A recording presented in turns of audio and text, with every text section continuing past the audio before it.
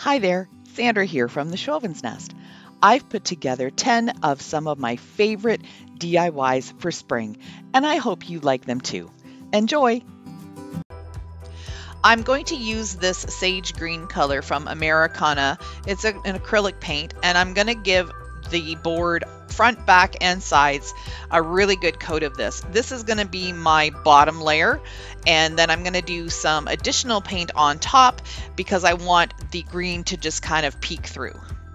Using linen white Rust-Oleum chalk paint, I'm going to give this a really good coat and then I'm just going to let it dry completely and then I'll do some distressing with. Using coarse grit sandpaper, I'm going to rough up the edges just enough to show the green through and then I'm also going to do some sanding on the top of the board because I want some of that green to peek through there as well. This stencil came from Hobby Lobby, and I think I got it around five or six years ago.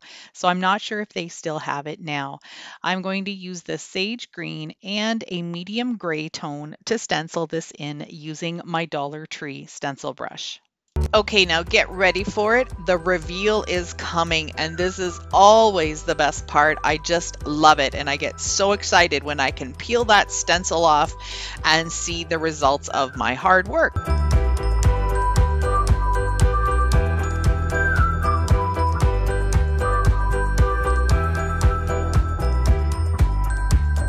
I love magnolia blossoms, so I have this stash of a whole bunch of different types, some pink, some white with pink, but these with the green centers are not that pretty. They're really floppy, and I decided that I would change these into a completely new flower. The first thing I'm doing is taking out this little cone shape that's bright green out of the center and I'm able to very easily just pull it up a little bit and then give it a snip and it just pops right off. So I'm going to do that for all of the flowers. I've got my glue gun warmed up and ready to go and what I'm going to do is add just a dab of hot glue to about three quarters up the petal and then I'm going to hold the two petals together because I want to achieve a closed flower bloom.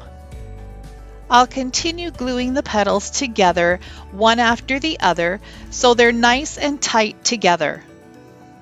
This will allow the petals to stand straight up.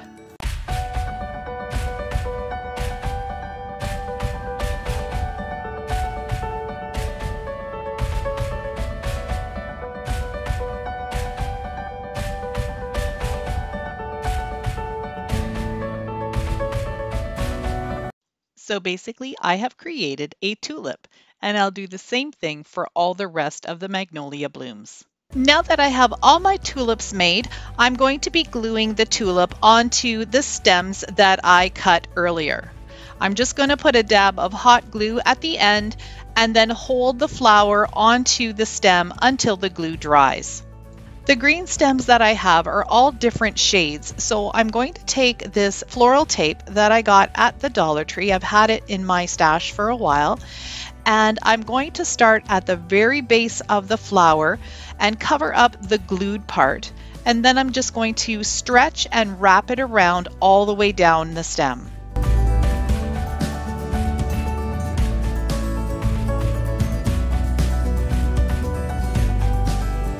I was lucky enough to find these tulip blossoms at the thrift store way before Christmas.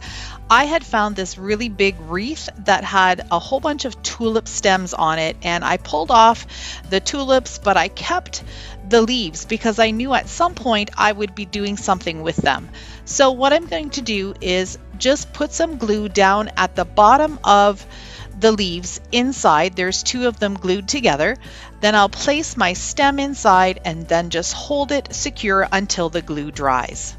I grabbed this wooden box that I also had in my stash. It was from a previous project that I no longer want to use. So I'm going to take the hinges off because I also don't need the lid for this box. I'm using some fine grit sandpaper just to sand off the sheen of this ink. It was a paint pen that I used on this. So I just want to get that kind of cleaned off, make sure that there isn't any shine and there isn't any bumps from the paint that might show through when I give it a new coat of paint. The paint I'm using for this project is Martha Stewart Home Decor Chalk Paint in Summer Linen. This little paint pot is actually one of the first chalk paints that I ever purchased and I like the paint. It's a little on the thicker side, so I did have to add some water to it to get it into more of a workable form. But that's what happens with chalk paint. As it ages and as it oxidizes with oxygen in the air, it does get thicker. But because it's water soluble, you can go right ahead and thin it down to the desired consistency just using a little bit of water. I'll be giving the box two coats of paint. If this is your first time visiting my channel, I would love for you to hit that red subscribe button and stay tuned. If you are a current subscriber or viewer, thank you so much for your support.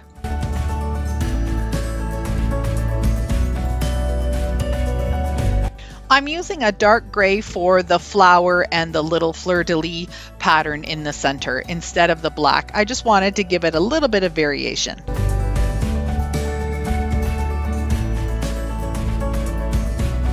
So now I'm going to remove the stencil and as I mentioned earlier, it's really important not to load your brush too heavy with paint.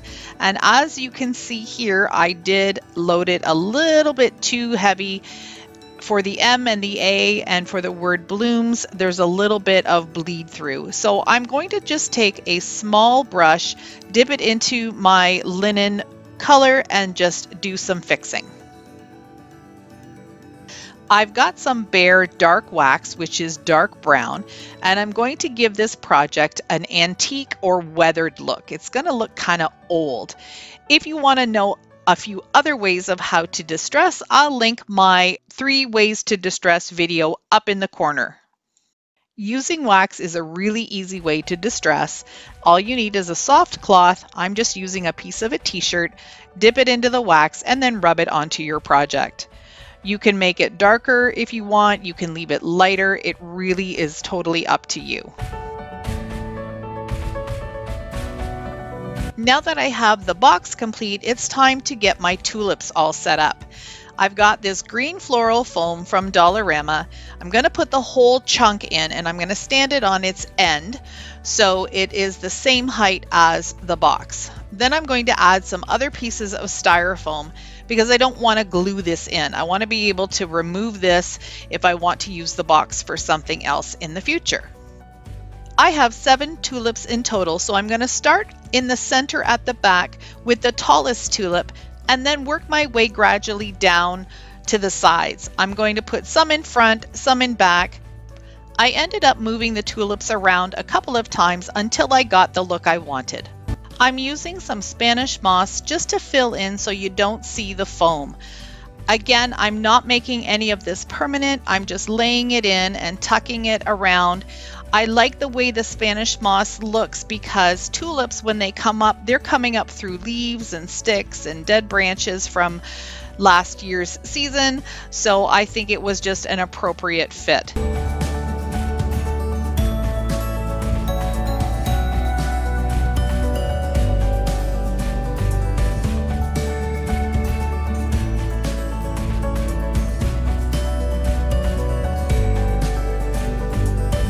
Today I'm starting off with these tumbling tower blocks that I got at my local Dollarama store. They are larger than the ones you can get at Dollar Tree, but the Dollar Tree blocks would work just as well. The first thing I'm doing is putting four of them together. Now I'm using my Aleene's Tacky Glue. You could use wood glue, hot glue if you wanted to, whatever works for you once the set of fours have had a chance to dry and set up, I'm going to actually glue them all together so it will be one row of 12. To make sure they're really secure, I give them a good push from either end. And if a little bit of that glue squeezes up in between, then I know I've got a really tight fit. Once I'm done with the 12, I'm going to set that aside to dry. When I'm working with glues that have a lot of thickness to them, and like this, the Aleene's glue, it's very sticky and tacky. It's hard for me to squeeze out the tube. So I always put a little bit on a plate and just use a paintbrush. And that also ensures that I get it everywhere I need it to be. So you can see here that I've done four blocks end to end and now I'm stacking another three and that will create the sides. Now I'm going to use a square wooden dowel to act as the brace in every corner and I'm going to make it the same height as the stack of three blocks. So I'm just going to measure that off and then cut out four. To assemble this, I decided just to use hot glue. You could use the tacky glue or some wood glue if you wanted, but I find that hot glue works just as well, especially when you're gluing raw wood together. So I'm just going to butt the side up against the bottom and press it and make sure that it's nice and secure. I'll do the same for the other side. Next, I'll glue the sides on and then I'll start working on the corners. So now it's very easy to just go ahead and set the corners right inside. They fit perfectly and I'm really pleased with how this is coming together. I didn't tell you yet, but this is actually a Kirkland's dupe. I found this beautiful arrangement on the Kirkland's website, and I thought, you know what? I can do that for less. It's a little different. They have some rounded circles cut out of the top piece, and I'm going to be working with straight corners, but I still think mine turned out fairly good. Wait till the end. I think you're going to like it too. Before I finish assembling, I'm going to give this bottom piece one coat of Folk Art Home Decor chalk paint in the color Maui Sand. It's a beautiful dark charcoal gray. I love using the Folk Art chalk paint. It's super thick and you can usually get really good coverage with just one coat. So now I'm just using a few more blocks as a guide to ensure that I know exactly where I need to glue my center pieces in to create the top part of the crate. As I was gluing these pieces together, I realized that I just made a little ladder. So if you want to make a ladder for your home decor, this is the perfect way to do it, simply with some tumbling tower blocks. Now I'm giving this one coat of the gray as well. Now I'm just going to add some Dollar Tree twine to the top of the jars, just like in the photo, and I'm going to wrap it around five times and then hot glue it in place.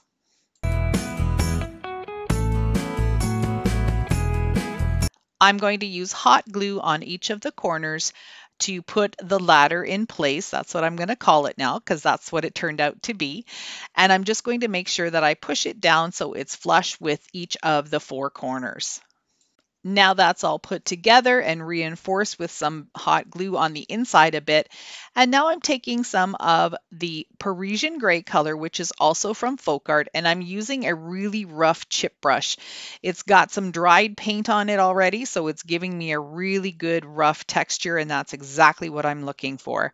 I'm going to dry brush all the way around the piece, front, back, sides, inside, everywhere it has a dark gray finish is going to get some some of this dry brushing. Once the dry brushing was done, I added the jars, popped in some lavender florals from the Dollar Tree, and this is how it looks.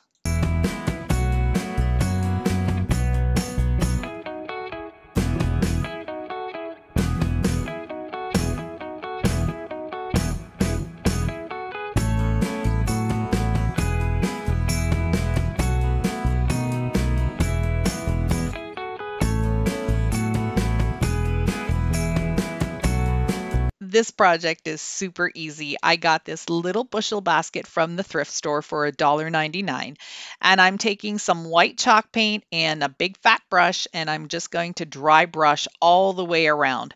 At first I started just with the top band because I wasn't quite 100% sure that I wanted to do the whole thing white but once I got around to it I decided yep the whole thing's going to be white.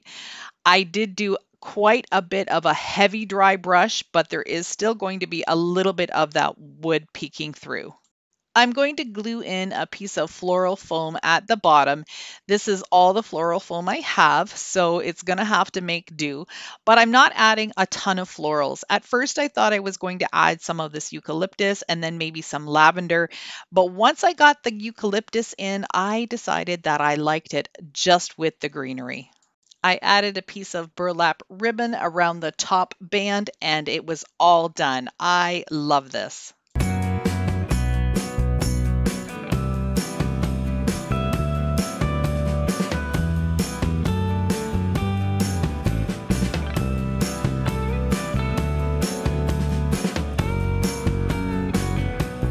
This next project is using a can that I've had and used before from the Dollarama store. It's just really nice and tall, and that's what I liked about it. But it was a little too shiny and it had some scratches and blemishes in it. So I'm taking a kitchen sponge and some medium gray chalk paint, and I'm going to go ahead and just pounce on it and give it a base coat. I'm going to try and turn this into a dark galvanized look. The next step is going to be using black. I'm going to take the same sponge, I haven't washed it, and I'm going to go ahead and just apply some of the black. I am dabbing off the majority of it because I want it to be fairly light. And I'm going to also go with a very light touch because I don't want any of that square edge of the sponge to show. If you press too hard, then you're going to get that line, and that's not what you want to achieve. So I'm going to continue to just dab on as much black as I think I I want all around the can. So now I did go ahead and cut a piece of the sponge in a circular manner just because it was giving me some lines and you can see them here a little bit. So I'm just taking some more of the gray and just blending it in a little bit more so you don't see those harsh lines. As I'm sitting here looking out my window editing this video, we got at least three inches of snow overnight, but I'm still looking forward to spring. So I'm going to use this Fresh Flower Market stencil as my inspiration, and I have a chalk pen that I'm going to use to write on all of the letters. It's not going to look exactly like the stencil, but I wanted to kind of mimic the stencil look, so that's why I'm leaving some gaps in between the letters. I'll have a free printable very similar to this available on my website. The link is down in my description box. If you don't have handwriting like this, you can definitely use the free printable. If you're doing it on something black, you could probably just use some chalk and then use a pencil to transfer that over. Or if you have some graphite paper, you could do that transfer as well. I used the stencil for the flower, but I didn't go all the way to the edge because I didn't want it to bleed. It did bleed a little bit, but most of the shapes turned out pretty good. I'm going to seal this container because I know it's going to chip. Chalk paint on metal is not a good thing to do, so I did go ahead and take it outside and give it a good spray. I'm now going to take a little rough brush and dip it into some of the dark gray paint and just pounce it on top of all of the white areas just to make them look a little bit more aged and weathered. I plopped in a bunch of pansies and I think it looks super cute.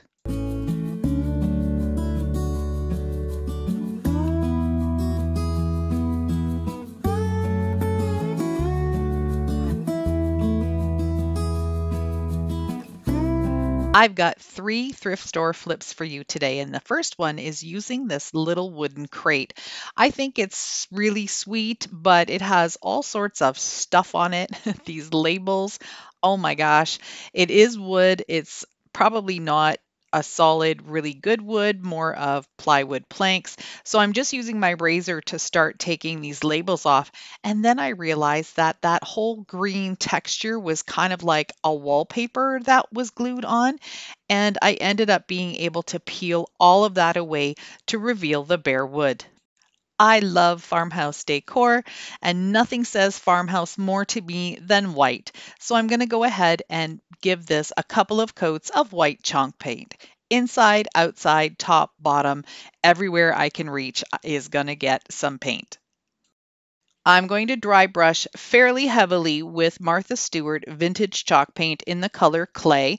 I really love the Martha Stewart line of paints. They're on the pricey side, but if you can get them on clearance like I did, it's worth the buy. I only paid $5 at Michael's. I'm doing another layer of distressing with a color called Maui Sand from Home Decor Chalk Paint, and it's like a dark charcoal. You can see here that I'm kind of going in a little bit heavy with this as well, but I'm also starting to blend that color in a little bit to give it more of an overall grayish look. I decided to use some chickens on this little crate. I thought it would be really sweet to have some eggs in it and be a little bit Easter related, but yet still farmhouse. These are some self stick or self adhesive stencils that I also picked up at Michael's when they had a Martha Stewart clearance. And I'm just using some white chalk paint and a makeup sponge, and I'm pouncing up and down, making sure I don't have too much paint loaded on the sponge because I don't want anything to bleed. It's always better to do a couple of light coats than one dark coat. These stencils also have a couple of little baby chicks, and I thought this one would just be the perfect touch. So I'm going to add this one too, and then I'm going to repeat the process on the other side of the crate. Since this has got chickens on it now, I'm going to add some eggs. I'm taking some of these wood shavings that I picked up at my local dollar store or they might have come from Dollar Tree. I'm not sure because I picked them up last year. I'm just going to cut some, put them in each of the four little slots, and then add some eggs. These eggs are ones that I had from last year. They were plastic eggs. I painted them with some really pale colors of chalk paint, speckled them up a little bit, and now I'm just going to add some bamboo skewers to the bottom of them. They have holes in them, and just poke them right into the Excelsior. This crate is absolutely adorable.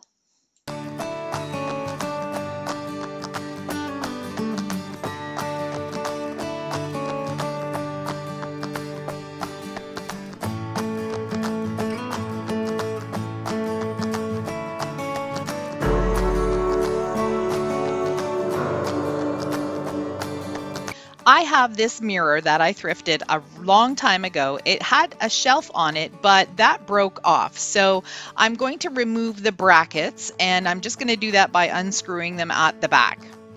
I'm going to keep those brackets for another project and then I'm just taking some coarse grit sandpaper and smoothing out all of the rough edges.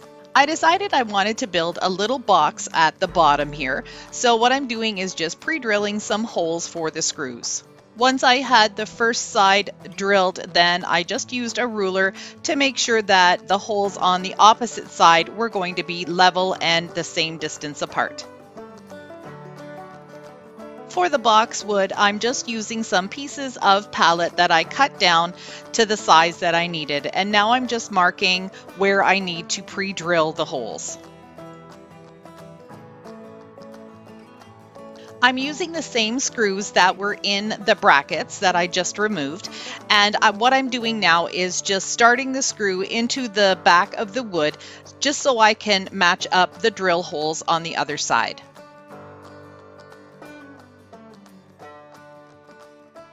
Now it's really easy to just finish screwing in the wood pieces. With the side pieces in, then it's really easy to just attach the front part right into the sides.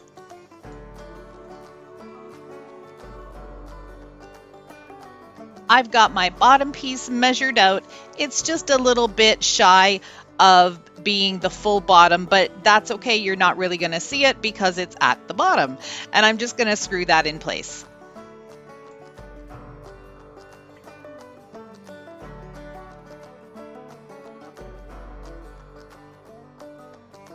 Now it's time to paint. I've masked off the mirror and I'm going to start by using this Kilz Original Primer. It's a stain blocker. I've noticed when I've been using some of these darker stained wood pieces that sometimes the red tones in the stain bleed through and turn the white pink. And I don't want that to happen anymore. I've had enough of those issues, so I've decided to just use that Kilz primer. I have that from a previous project up at our cottage, so I'm just going to use it. I'm going to use Rust-Oleum chalk paint in linen white, and I'm going to use my Bennett chalk paint brush to apply it. It's going to need two coats, but I'm really happy with how there was no staining, no bleeding coming through at all everything's completely dry and now I'm taking some coarse grit sandpaper and distressing the top of the mirror and the box just a little bit. I want to bring out some of that dark stained wood underneath. I'm going to add some of the floral foam into the box so I can add some florals. I will be cutting it to measure so it fits right into the bottom of the box. And then I'm going to glue it in with my Weld Bond glue because I want whoever gets this in their home to be able to switch out the flowers if they choose to. The greenery that I'm going to use is to the left there. It's a eucalyptus bush, but I didn't like that color. So I took it outside and I just gave it a little misting of white spray paint and voila, I've got greenery that looks like lamb's ear. Here you can see that I've put five stems of the greenery in and now I'm going to start with my favorite lavender. I get this at my local Dollarama. It's a dollar twenty-five for this whole big stem and I love to use this in all of my projects so you will see it a lot. I'm also going to do the same thing. I'm going to trim off the stems and then add them in in little bunches.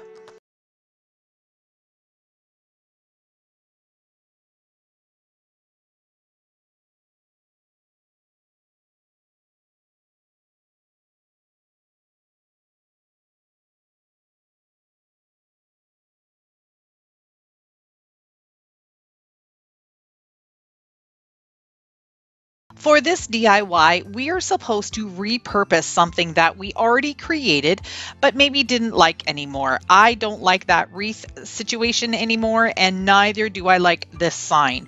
These are old projects that I just needed to get redone. The first thing I did was take this board outside and give it a good sanding. Of course, I had taken off all the hearts and everything that was on it, but it did need a good sanding just to kind of get some of that print off and the layers a little bit. It's going to turn out a little bit of a shiplap look, but I am going to turn this and make it a vertical sign and rather than a horizontal sign. Out of the wreath sign, I'm using one of the wreaths and I'm going to be using the wood welcome sign as well. I'm going to be taking some burnt umber here and just painting the wreath so it's not so white. I want it to have more of a grapevine look to it. The original wreath design had these green hydrangea blossoms on it, and I've got a few more, so I decided I'm going to do an ombre effect. I'll start at the bottom with the dark leaves, and then I'll move to the lighter leaves, and then finally the white at the top whenever I'm doing wreaths, I never use the flowers as they are. I'm always taking the, them apart and creating my own little design. But I always try to leave at least a little bit of a stem on it, especially with a wreath like this. I can just poke that stem in and then just secure it a little bit better with a dab of hot glue. Now I'm starting on the lighter green flowers and what I like to do is work from side to side when I'm going up the side. So I'll put one blossom or two blossoms in on one side and then I'll go and do a couple of blossoms on the other side. Because I'm doing an ombre look, I want to make sure that I have the proper amount of florals on each side so it looks symmetrical. I flipped the wreath around so you can see it a little bit better. So I've got the dark green on the bottom and then I'm I'm gradually moving up to a softer green and now I'm working on the white.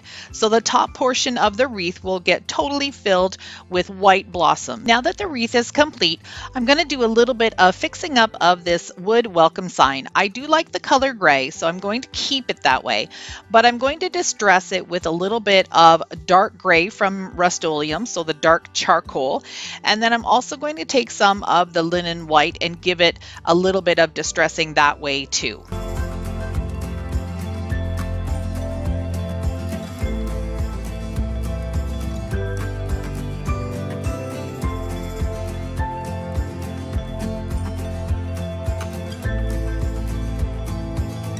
Now comes the fun part. I get to assemble this.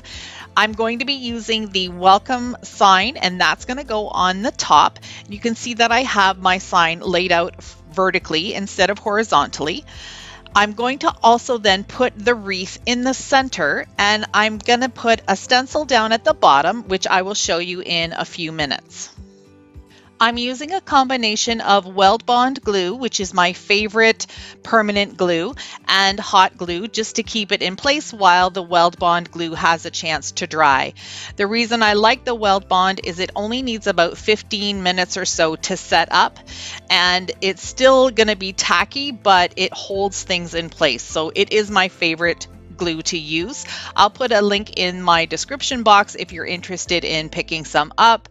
I think you can purchase it at a few different places online and in stores. Anyhow, I'm going to put my last name and then underneath that I'm going to change into a different font style and just put the letters EST, which is short for established, and then the year we got married, which is 1991.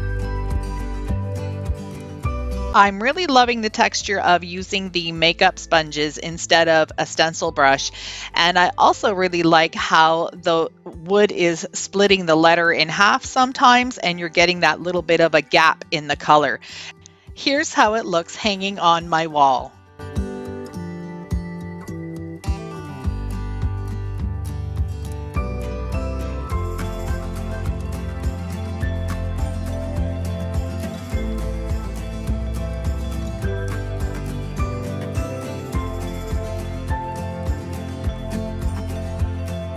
I've got a bunch of these little containers that had the cork topper from the Dollar Tree.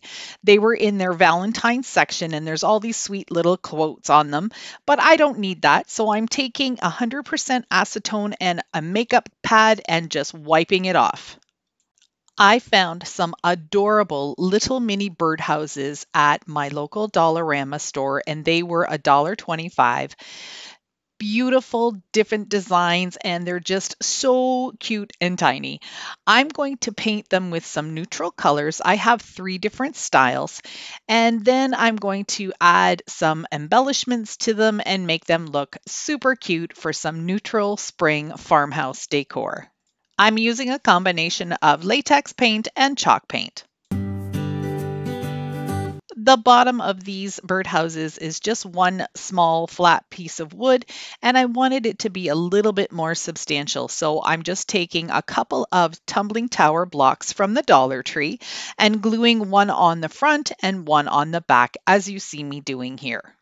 I needed to drill a hole inside the cork in order for the dowel that I'm going to use will be able to be pushed through. I'm using a quarter inch dowels. So I have my quarter inch spade drill bit and I'm just going down the center of the cork all the way through to the bottom. I'm also going to need to put a hole through the bottom of the birdhouses so the dowel can fit up through them as well. I'm doing the same thing. I'm just going to take my quarter inch spade drill bit and drill through the bottom of the birdhouses just eyeballing in the center. It doesn't have to be 100% exact, but you just want to make sure you get all the way through. I've got some 12 inch dowels that are a quarter inch wide, and these came from Dollarama. I cut two of them in half, and one of them sort of maybe not two thirds. I don't know. You can see the two gray ones there. That was one piece. The reason I'm cutting them in different lengths is because I want them to be staggered in height once I'm done with the project. I then added some hot glue and then just pushed them in as far as I needed them to be and made sure that they were nice and straight. I'm using two painter sticks that I had hanging around on my desk to steady this little round jar. And I'm going to go ahead and apply each of the decals, making sure that everything is pressed down super well. I can use my Cricut scraper here to just burnish everything down, and then I'll be able to peel off the transfer tape. I also wanted to paint the dowel rods and I'm just mixing and matching these three colors all the way through. You'll see what I mean at the end. I like the color of natural cork, but for this project, I decided to give them a coat of paint that's going to match the dowel that will be pushed into them. I'm going to just do across the top and about halfway down the sides. Now that everything is all dry, it's time to assemble. I did have to push fairly hard on the dowel just to get it through the cork. It didn't end up going all the way through, so I ended up pulling the cork out and just making sure that I got that dowel all the way through to the bottom. And this is also where I'll make sure that each of the birdhouses is a different height. Then I decided to also put a little bit of hot glue on the cork to make sure that nothing would fall out of the jar itself. I put them on a little wood frame, added some moss and a little bird, and I think this turned out absolutely adorable.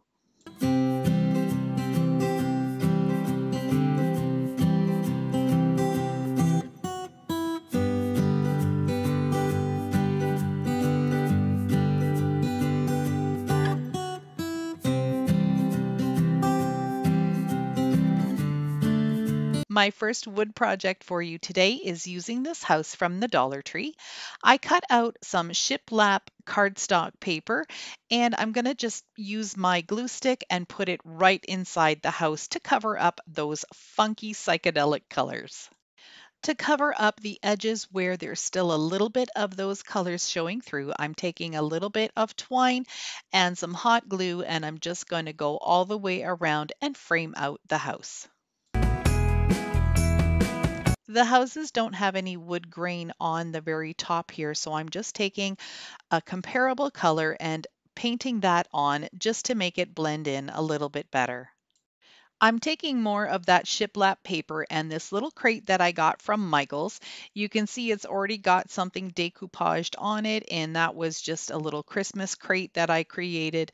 I'm going to use Mod Podge and glue a piece of that paper on either side to cover that up. I had put a coat of Mod Podge on top of that paper and there was no sanding it off. It was stuck there. So I'm just going to let it sit for a minute and do the same on the other side. Then I'm going to take this same color paint and just give it sort of a dry brushing. I'm going to change the color, but I want a little bit of that original crate color to show through. Then I'm just going to attach the crate to the backside of the house just using some hot glue. I'm going to use hot glue to glue the unfinished side right to the back of the house. I needed something to put inside this little house, so I'm taking a piece of cardboard and I'm just making sort of a round half circle, almost like an igloo shape. I'm going to create a bee skep. I'm going to use this jute rope from the Dollar Tree. It's a larger strand that I took apart for the three smaller strands. I'll use hot glue and just start at the bottom and wind it all the way around, gluing as I go to make sure it stays in place. Now, when I got to the end of this, I thought I should have probably made this a half dome, which would have looked a lot more realistic than just a little flat piece of cardboard. But I still think it turned out pretty cute. If you're not familiar with what a bee skep is, join the club. I wasn't either, so I looked it up online, and what it was was baskets that were placed upside down, and the bees would go in and create their honeycomb and attach it to the basket. Basically, at the end of the season, when the honey needed to be harvested, they took the basket and everything away, which left the bees homeless. So Needless to say, they aren't used anymore, and in some countries, they are even illegal. What I'm doing here is just creating a little door. I'm using a thick piece of the jute rope and gluing it in place. Using some black paint, I'm just going to paint the jute on the inside of the circle, not including the little circle, and that will create the illusion of that being open and somewhere the bees can just fly right into. To make sure everything has a cohesive look, I'm going to take that same mushroom paint and give the back of the house a couple of coats just so it can blend in. I want to glue the bee skep right inside the house, but I need a little bit of a support because I don't want to put it right on the back. So I'm using this little piece of a tumbling tower block that was cut for a different project. I'm just going to hot glue that onto the back and then glue the little bee skep right on top of it. I glued a piece of floral foam to the crate and now I'm just going to glue in some pieces of reindeer moss just to camouflage that foam. I'm also going to tuck some of the moss in between the slats on the front of the crate. To make a sweet little bee, I'm using this beehive bead. I'm going to paint yellow and black stripes on it.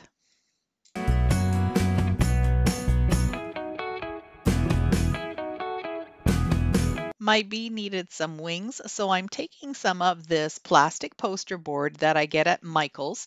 This is sort of like stencil material, and I'm just going to draw on the wings of my little bee, cut them out, and then I'll be able to glue them on once the paint is dry on the beads. Using a much smaller bead, I glued it onto the other bead, and I'm just going to paint this black. It will become his head. Here I've got one set of wings glued on and I'm just going to do the same with the other just using hot glue. I glued my little bee on top of the skep and this is how it turned out.